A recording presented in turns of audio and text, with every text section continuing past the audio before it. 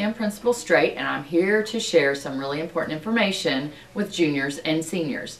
I'm going to go through the who, what, where, when for you. We'll start with who. It is juniors and seniors who've been identified really based on your PSAT scores from your junior year. Okay, the state mandated test that you're going to have to take. It's the AccuPlacer. That's the what. It's going to be English testing on Monday, February 2nd. We're going to have morning and an afternoon session. You only attend one. And on February 9th for math. Morning, afternoon, but you will only attend one session. The test is an online test like your ECA exams.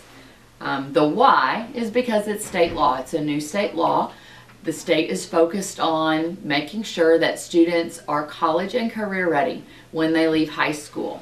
So you've been taking your ECAs and hopefully you, you've passed those. That's out of the way. You know you have graduation coming.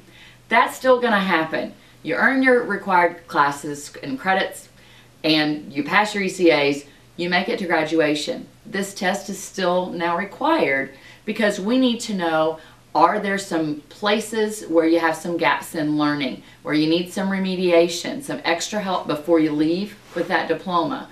Because the state is not going to be supplying financial aid to community colleges or other colleges for remedial courses. So we need to be sure you have those basic skills totally covered with this other test. Um, don't worry, need you to just do your best. It is still important. It's going to give us and give you important information about where you are and how you stand for your future.